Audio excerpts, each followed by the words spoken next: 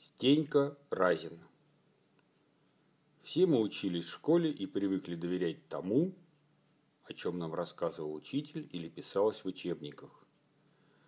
Но если бы мы не боялись задавать вопрос учителю, мы бы обязательно спросили, почему Степана Разина зовут уменьшительным именем Стенька, а не Степка?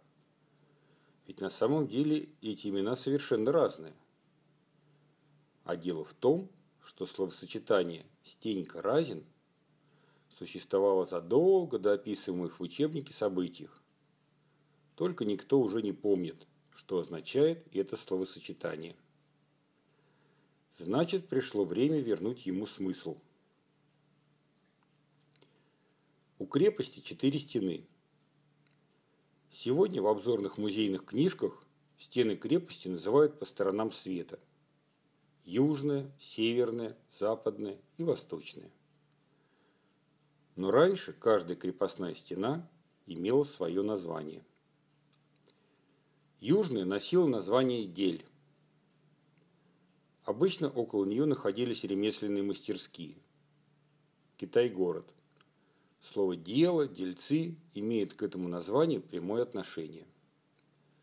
Западная называлась «слон», Вдоль нее располагались защитники крепости и военные помещения, заслоны. Северная стена крепости – борт. И здесь находились запасы еды и воды для защитников крепости. И только восточная так и называлась – стена или стенка. А за ней располагались, правильно, застенки. В застенках сидели преступники в ожидании суда. Обычно застенки пустовали, но иногда в них были сидельцы, но совсем немного.